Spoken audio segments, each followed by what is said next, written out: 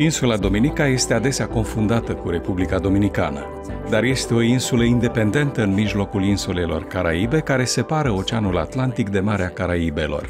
Este plină de cascade, plaje tropicale și izvoare termale. Insula este plină de copii care au nevoie de o educație bună. Școala primară adventistă Ebenezer a devenit una dintre cele mai respectate școli de pe insulă.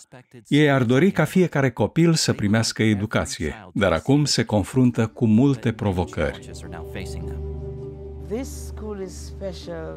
Această școală este specială pentru că pot vedea aici mâinile miraculoase ale lui Dumnezeu.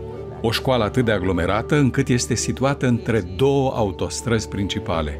Există construcții zgomotoase în jurul școlii. În toate aceste situații și provocări, totul merge atât de bine. Este printre primele zece de pe insulă și sunt mereu uimit să-L văd pe Dumnezeu lucrând la această școală.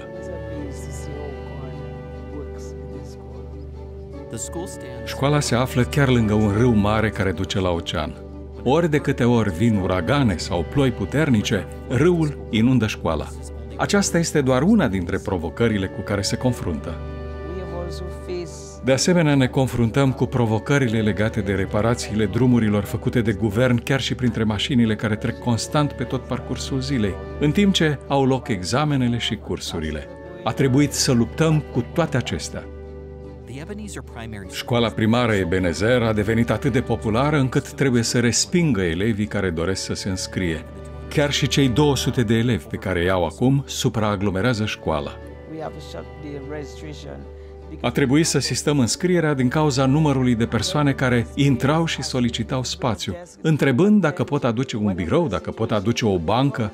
Oricare ar fi situația în prezent, pur și simplu nu mai avem spațiu să luăm niciun copil. Școala a început construcția unei noi clădiri care speră să rezolve aceste probleme.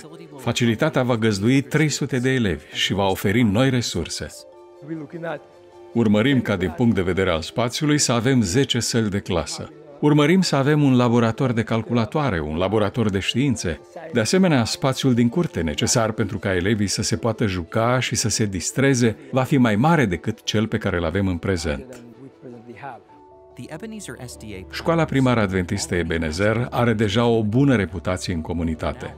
Acum așteaptă fonduri pentru a finaliza construcția noilor clădiri școlare.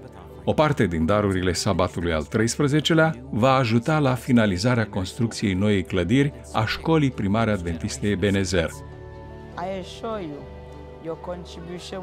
Contribuția dumneavoastră nu va fi pierdută. Vă veți uita în urmă și poate, cine știe, acești copii pe care îi educăm vă vor servi vouă și generațiilor voastre în anii următori.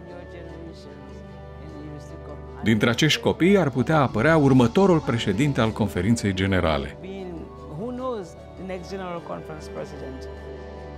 Rugați-vă pentru munca educațională a Bisericii Adventiste de ziua 7 din întreaga lume și pentru creșterea ei în Dominica. Vă mulțumim pentru sprijinul acordat unor astfel de proiecte.